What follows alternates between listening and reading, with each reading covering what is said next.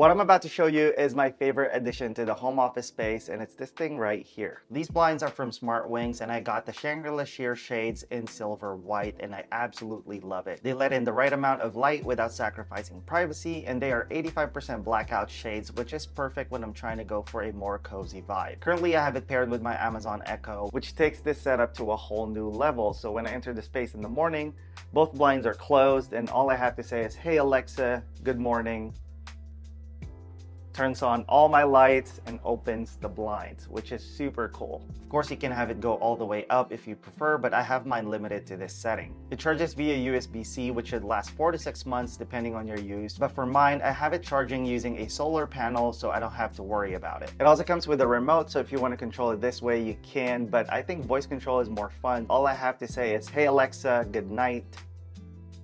And it should turn off all the smart lights in my space and close the blinds.